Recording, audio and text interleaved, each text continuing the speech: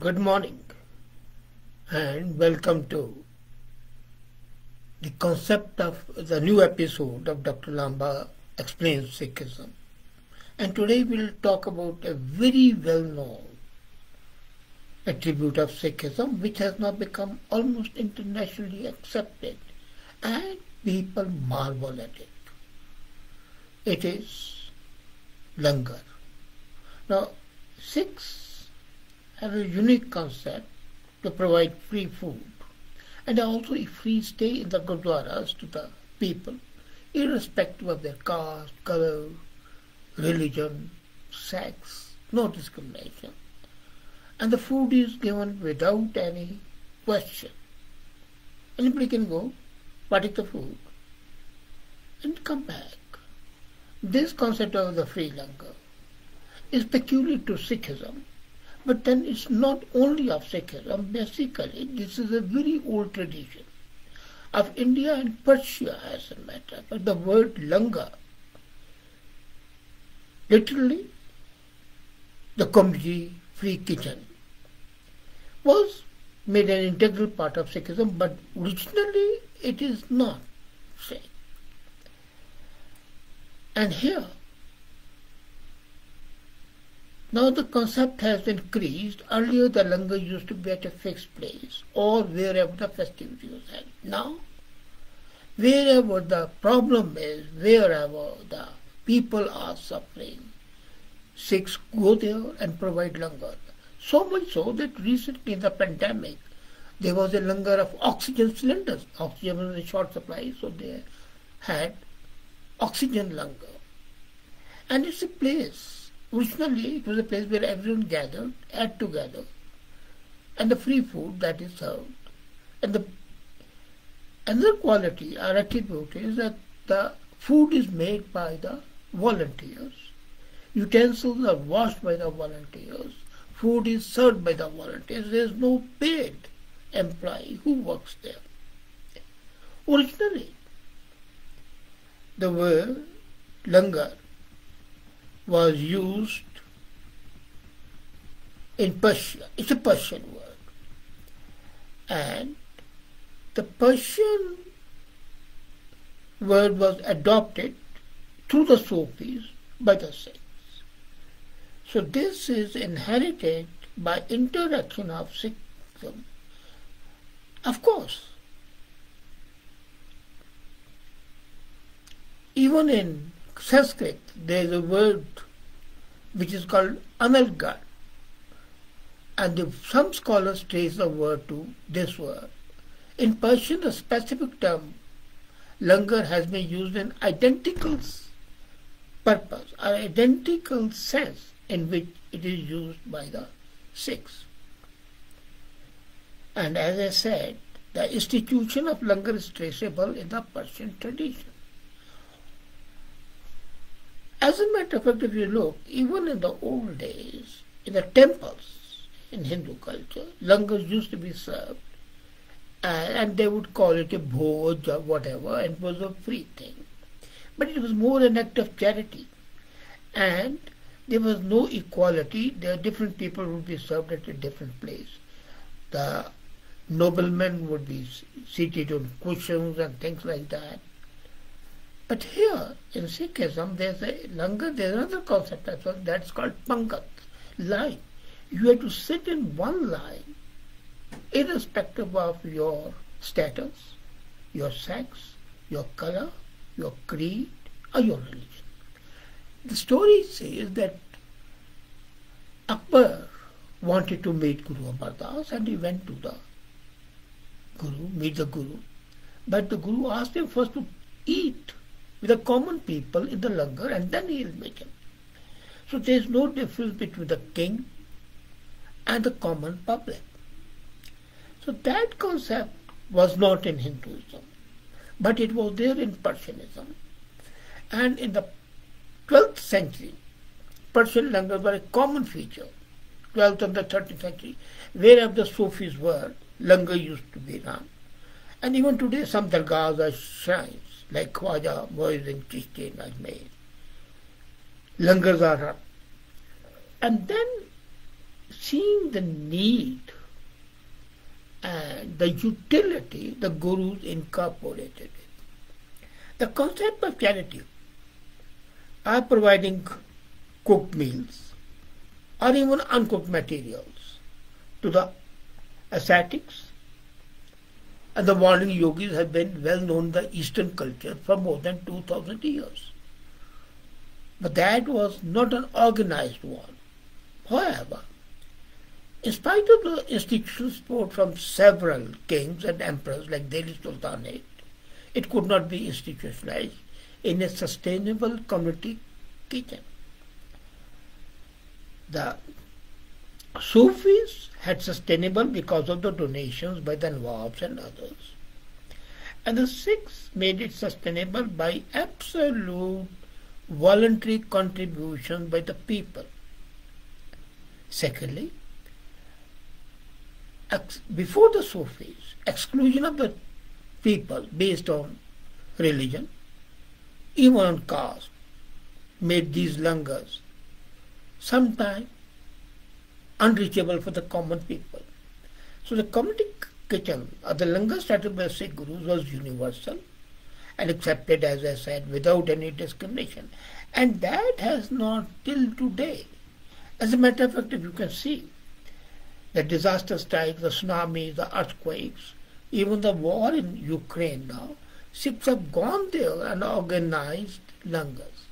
And so much so that this is in fact in many places replacing or adding on, complementing the work done by Red Cross Society. So this, the type of food served of course is cooked, as I said, by the volunteers and it's all vegetarian. Now another thing, the langars in the Sufi had non-vegetarian food and even have. But the food served in the Sikh langar, Sikh kitchen, as an Hindu kitchen, is absolutely vegetarian and not non-vegetarian. Now, yogis and Muslim Sufis had this, and interestingly, even in Bengal there's a word which is Langor, L-O-N-G-O-R. So even Bengalis had it. As I said, it was a universal practice in the whole of East, coming from Persia to Iran and India, in between Middle East. But the historical institutionalized was first time done by Baba Farid, a Muslim of the Chishti Sufi order. And so he was the person who started it. Then the practice grew and is documented in Jawahir Faridi. This was completed in 1623 and it was later on both an institution and then adopted by the Sikhs with a refinement. Food in the Sufis system is served with a massive pot called a deg and is cooked over a period of time, but particularly community, not here in Sikhism. The root of such voluntary and charitable feeding is very old in Sikh traditions.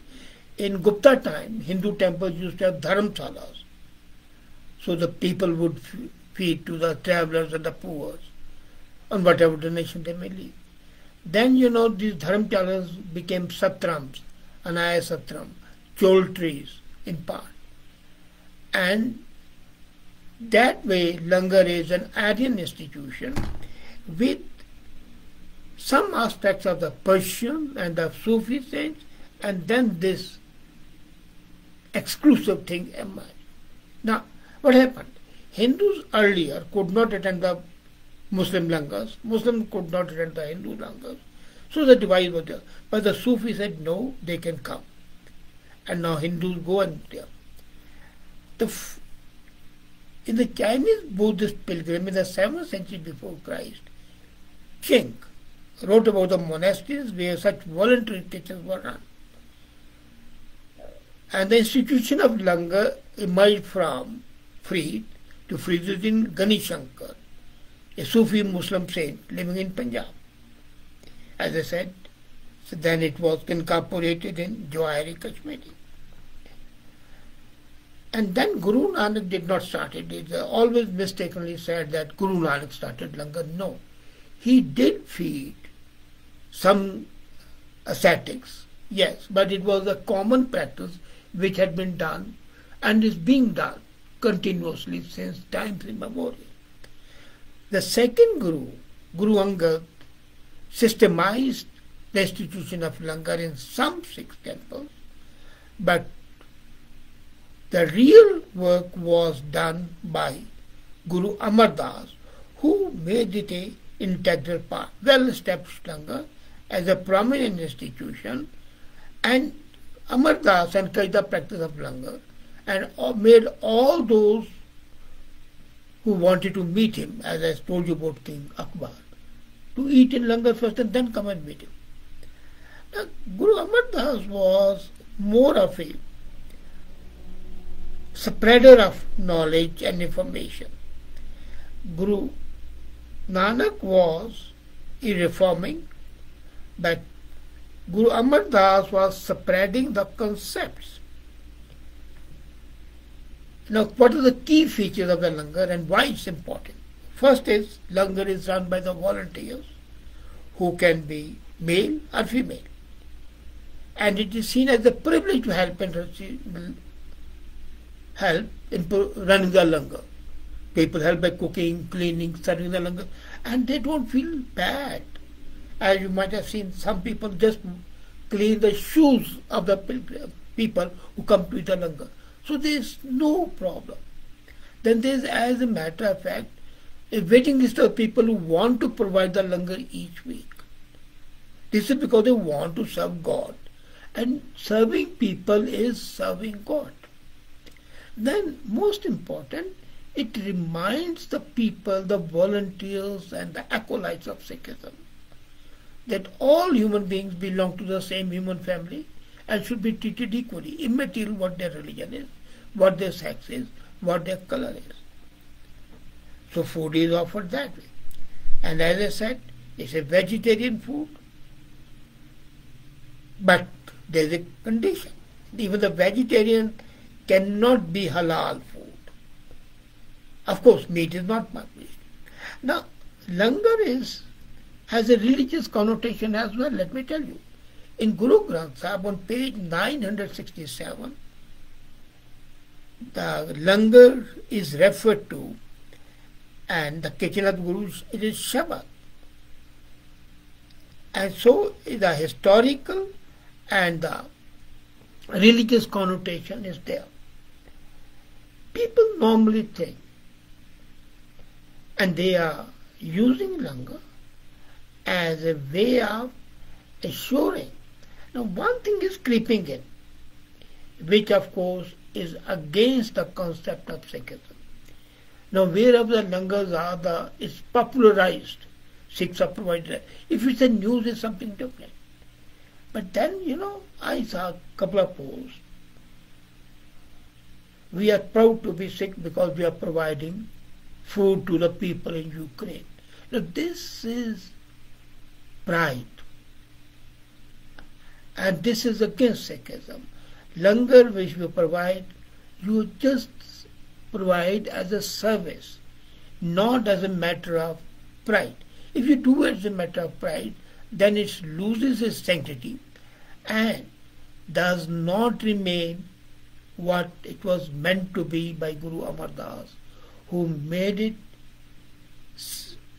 absolutely quiet, unnamed service to the poor, to the needy, to the hungry. That was one thing. The second was the equality of all and the humanity that pervades it. Unfortunately, when you start propagating and claiming that you are exclusive and you are doing something, then it loses its sense of sacredness and its sanctity. And that's what is happening to Langar. So excellent concept, excellent idea, full of milk of human kindness, compassion, generosity, when it's touted as something great, then it loses its significance. Langar as a concept. Now, there's a difference in the langars and the free kitchens. I know the soup kitchens and the free kitchens are run, but they are run mostly by the volunteers. But then they are not round the clock. The quality of the langar is that it is served round the clock. Though in small gurdwara is there always a time limit, but in the major gurdwaras, you can you reach any time, you'll get food. You would not be denied food. And that is it that come to me all the poor and the meek. That is what the religion was. The poor, the meek, the weak, the downtrodden, and the king, or rather, in fact, whosoever is needy is welcome. And langar is an equalizer. It's the first concept at socialism. Not in the negative sense, but in the positive sense, that all are equal. And the false discriminations, especially when you are having food, must not be allowed to creep in. And the eyes of the God, they are equal. Women cannot go to some temples when they are menstruating. Muslims would not allow Hindus to enter the masjids. Hindus would not allow Muslims to enter the major temples. So much so that these barriers which are not supposed to be in religion are erected by the acolytes. Sikhism that way has maintained its, shall I say, pristine sanctity of treating everybody as equal and Langar is a living example of that. Thank you.